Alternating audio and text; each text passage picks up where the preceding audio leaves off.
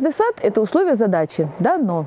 И каждый сад – это один единственный ответ на эту задачу. Я Ирина Белышева. С вами программа «Ландшафтные хитрости». И сегодня мы находимся в удивительном саду Елены Герасимовой.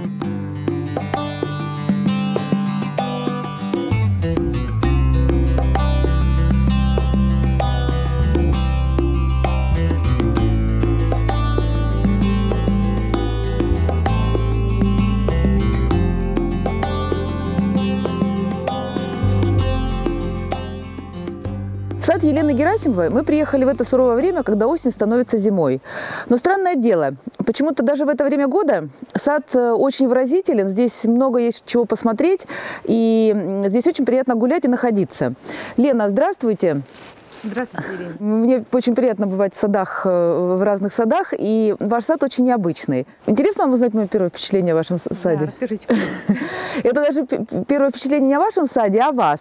Э, вот я, например, погуляла по вашему саду, поняла, что вы, во-первых, очень смелый человек, а во-вторых, э, я поняла, что вы человек свободный от готовых каких-то решений, потому что я не увидела в вашем саду традиционного джентльменского набора альпинарий, прудик, клумбы, ракари, там, розарий, а увидела совсем другое.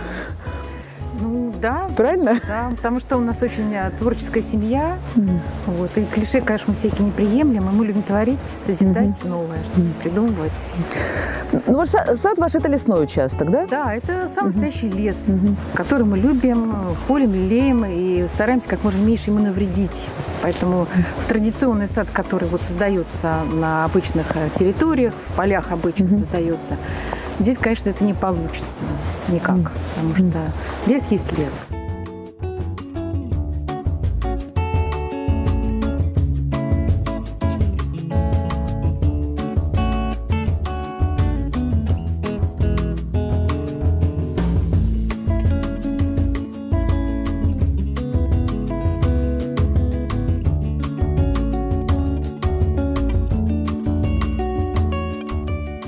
Идея, собственно, была такова. То есть оставить все как есть, только немножко улучшить и сделать более выразительным, более оригинальным.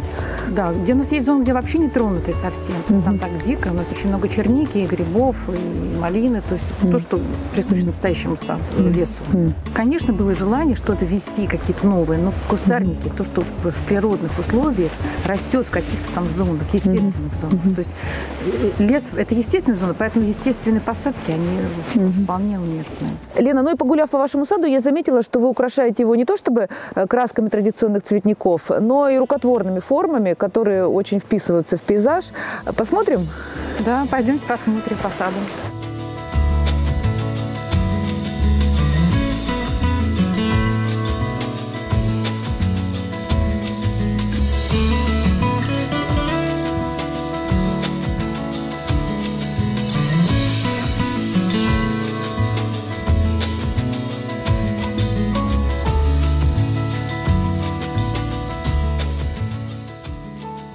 Да, даже вот такое простое сооружение, как место для дров, у вас оно просто стало, стало каким-то архитектурным таким сооружением. Ну да, дровник вообще это наша тема. Мы любим придумывать нечто необычное. Дровник мы хотели как бы одновременно решить несколько проблем, чтобы это было красивое архитектурное сооружение, чтобы это было одновременно и границы тоже как бы участка, потому что он не должен сильно выделяться и торчать на самом виду. Вот. Ну и в то же время функциональная зона тоже этого. Но при этом крышечки, дверцы, то есть дрова там хранятся. А вы используете эти дрова или они для да, красоты? безусловно. Мы его используем. Более того, мы назвали это дровник наш э, город-сити. А. Он, да, очень такой стилизованный под город. Городские вот эти башенки большие.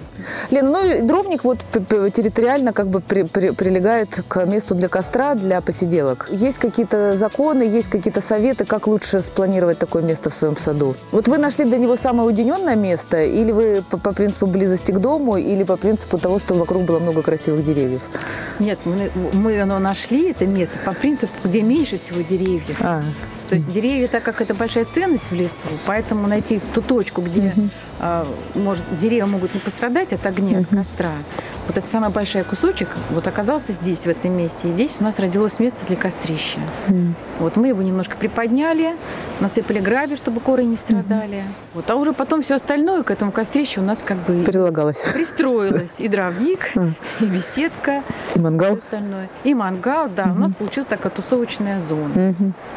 Угу. Ну, опять же, вы не, ушли от традиции какие-то барбекю, садовые печи. Это в лесу не очень смотрится или вы просто их не любите?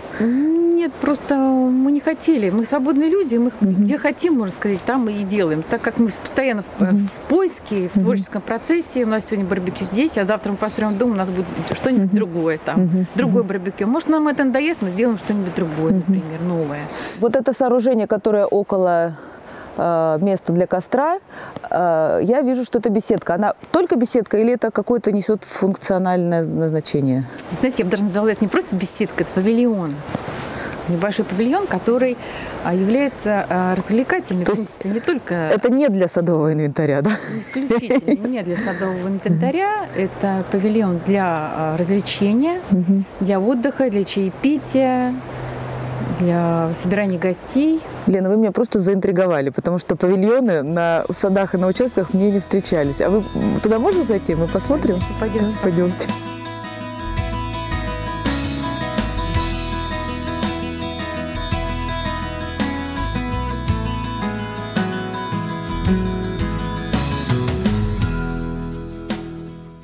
Да, действительно, павильон.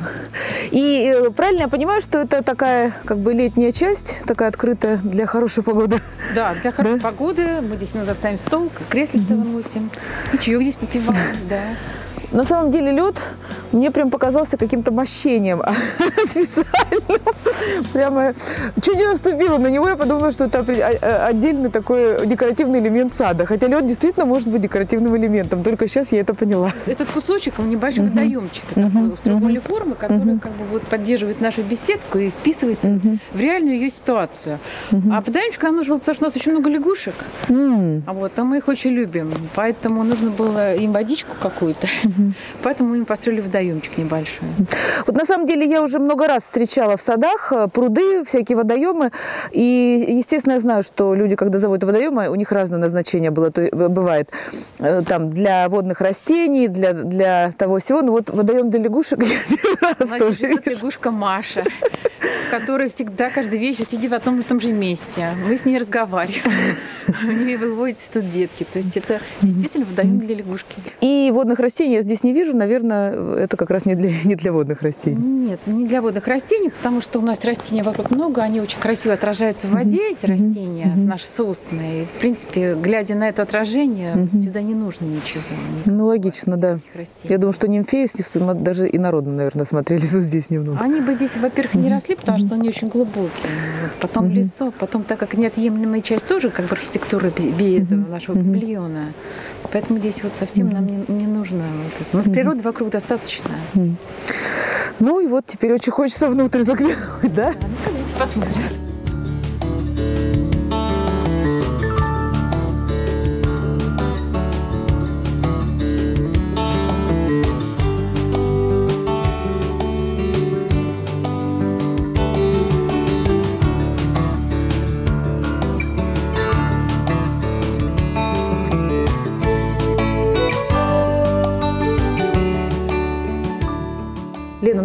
Потрясающе. Мне кажется, в нашем климате такой павильон вообще на, на каждом участке должен быть, в каждом саду. Потому что и в дождь, и в снег всегда есть где спрятаться. Вместе с тем такое пространство, весь сад, как будто бы ты сидишь в саду, просто от него немного закрытый. Ну да, не знаю, как, конечно, насчет каждого участка. Да, наверное, на каждом участке должен быть свой павильон, по, свой, по, своей, по своему стилю, тематике, архитектурному строению. Вот. Просто наш павильон здесь у нас родился вот таким максимально открытым, с конструктивным, я бы даже сказала, а, с видом на лес. У нас здесь как раз э, черничник, угу. самый настоящий. И когда вот очень большой урожай, здесь все синее. Здесь как будто бы вот мы наблюдаем на синем море. Здесь настолько ее много. Вот, и, конечно, это все замечательно, и мы ценим это. Я как раз хотела сказать, что это потрясающе удобно, потому что ни, ни шатры, ни вот какие-то вещи, которые искусственно выглядят, а ваш павильон, я правильно понимаю, что вы его сами сконструировали, сами спроектировали, это ваша идея, это действительно конкретно для вашего участка, но я имею в виду сама идея, что ты находишься как бы в саду, и как бы ты все равно защищен от плохой погоды, она, конечно, ну, сидеть здесь смотреть, как падает снег. Более того, у нас еще есть инфракрасные лампы, mm-hmm. которые здесь издают, и под зимой тепло. Mm-hmm. Можно даже без круток находиться. Mm-hmm. И прекрасно попивать чаек mm-hmm. и созерцать. И я вот э, оглядываю сейчас э, и вижу, что тут так продумано все до деталей. Вот, например, мне очень нравится вот этот прозрачный потолок, э, прозрачная крыша, вернее. То есть это, мне кажется, даже художник не придумает то, что придумала природа. Вот этот прихотливый узор из игл, сухих листьев. Просто тут можно сидеть и любоваться, как будто бы это отдельный арт-объект такой. Да, это своего рода тоже, тоже была такая задумка, чтобы в разное время года наблюдать за картинами природы. Mm-hmm. То есть не в динамике даже, а в статике. То, что она нам показывает сверху. Mm-hmm. Можно наблюдать ее снизу, как бы вот да. подглядывать за да, природой. Да.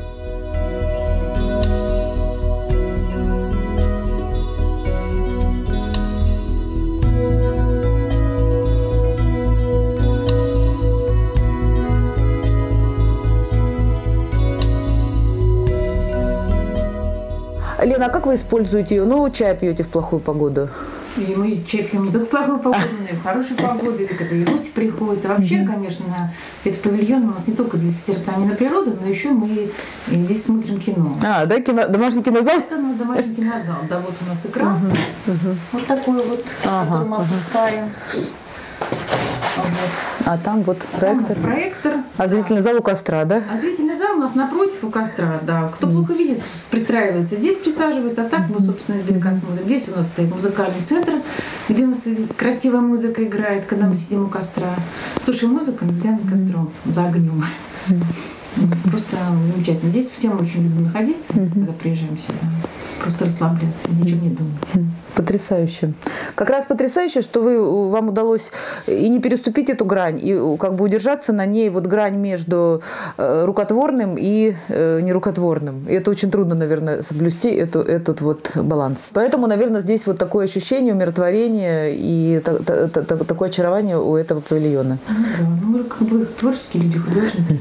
Поэтому это задачи, задачи у нас решаемые. То есть этот павильон, он по вашему проекту, это ваша конструкция вашего изобретения, вашей идеи, да? Ну, да, да, Ирина. Это конструкцию, собственно говоря, придумали мы вместе. И муж мой тоже, конечно, в частности. Mm-hmm. Более того, он ее, собственно, и сделал сам один своими руками буквально за два месяца. Вот вплоть до последнего гвоздя. Все mm-hmm. сделал сам. Крыша из поликарбоната. Крыша поликарбоната, mm-hmm. да, прозрачная для mm-hmm. того, чтобы тоже смотреть в небо, mm-hmm. а осенью смотреть, mm-hmm. подглядывать. Mm-hmm. А стены у нас обшиты ламинатом, mm-hmm. обыкновенно. Mm-hmm. Лена, и еще вот такой вопрос. Вот эта форма у нее такая необычная. Это случайно или намеренно? Или, или почему, почему она такой формы? Знаете, условно, как мы называем беседка как бы павильон айсберг. Угу. Айсберг, он как бы и имеет э, э, форму как осколка, угу. как треугольной формы. В то же время здесь у нас присутствует обратная перспектива. Угу. А так как это место выбрали специально для этого павильончика, то подходя к нему издалека, не видно, что он имеет такую форму необычную. Только приближаясь к ней, можно это заметить. Как раз это а, такая вот оптическая обманка. Угу обратная перспектива именно так работает. То есть это именно игра с формой уже, да, такая да. игра с формой да, для зрителя, для посетителя. Да, да, да, да. да. Да. Ну, почему бы этим не воспользоваться, когда у нас есть место, где это можно применить, показать, ну, да, да. построить?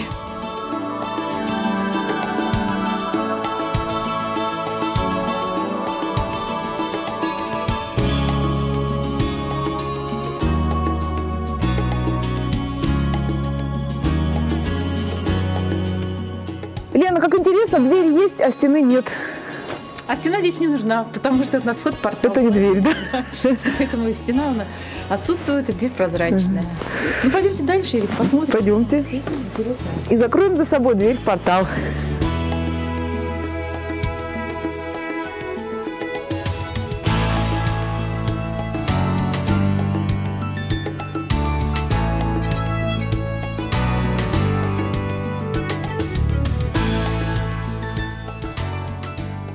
Какая необычная скамеечка, форма у нее, и, как я понимаю, из подручных материалов. Да, эту скамеечку да. мы решили сделать сами. Угу. Из того, что у нас осталось после строительства. Все, что вот вы видите, все натуральное, все, стро... все сделано своими руками, все сшито. Все является стройматериалами, да? Бревна, бревна, трубы, да, рогожка, трубочки металлические, которые продаются в магазине.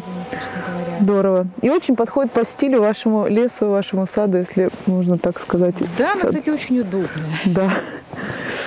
Так, ну что, дальше?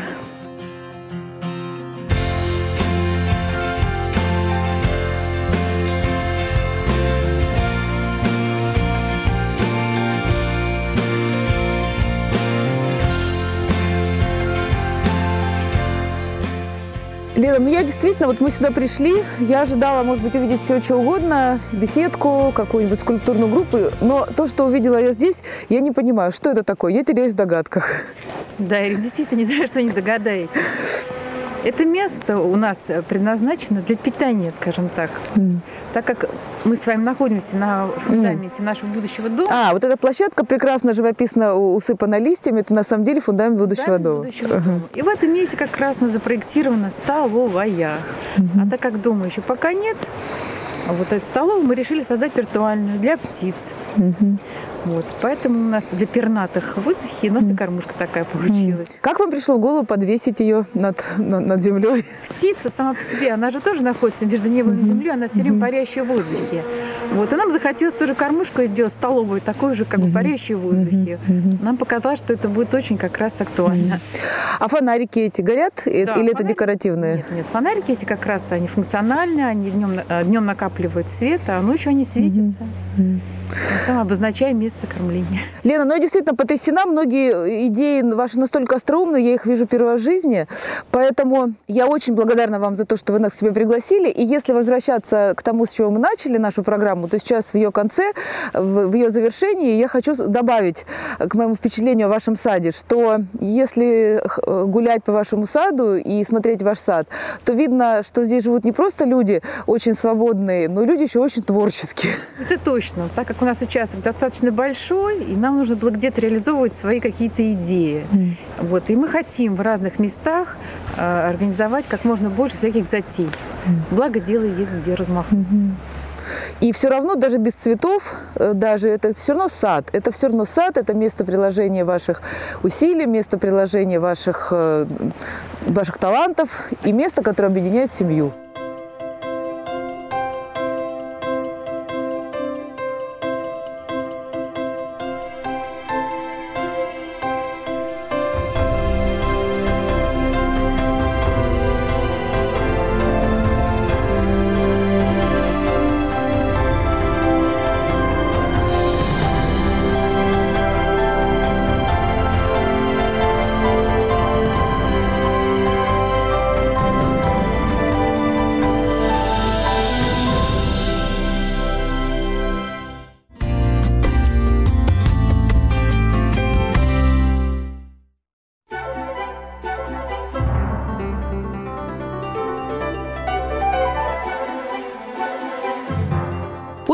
Осень – это не конец сезона. Это горькое трепетное послевкусие, в котором слышатся ноты всей садовой симфонии. Время в саду не существует само по себе. Это сад существует во времени. Сад – это движение от зарождения к расцвету, сиянию, полыханию, а потом к угасанию и молчанию. И ни одного шага нельзя пропустить.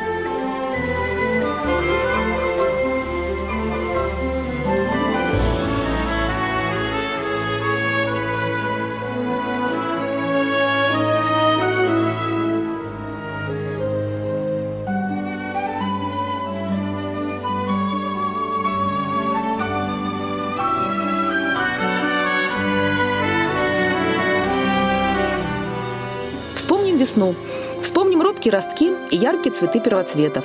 Сад пробуждается, и вместе с ним оттаивают наши сдерживаемые зимой эмоции.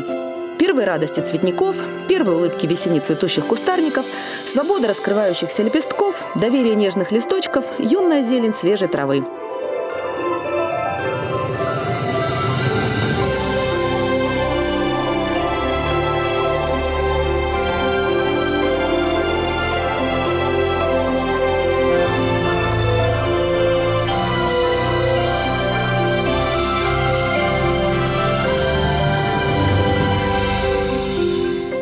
Набравшись солнца, сад входит в свою июньскую пору. Июньские краски – это дерзость и вызов. Взрывы пионов и смелая графика ирисов сопровождают нас в эту пору, даря энергию нашим мечтам и вдохновение нашей любви. Изысканные розы облагораживают наши сады в это время, а их волшебное очертание цветов – это просто зашифрованные послания мироздания о том, что чудо возможно, независимо от того, верим мы в него или нет.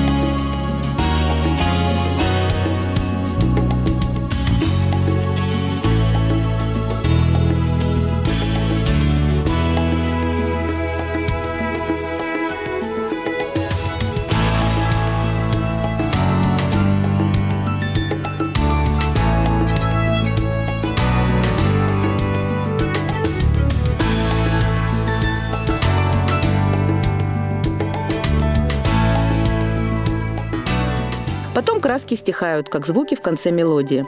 Приходит время ласковых злаков, желтых листьев и красных ягод.